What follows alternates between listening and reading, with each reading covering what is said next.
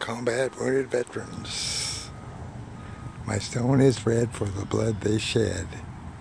The medal I bear is my country's way to show they care.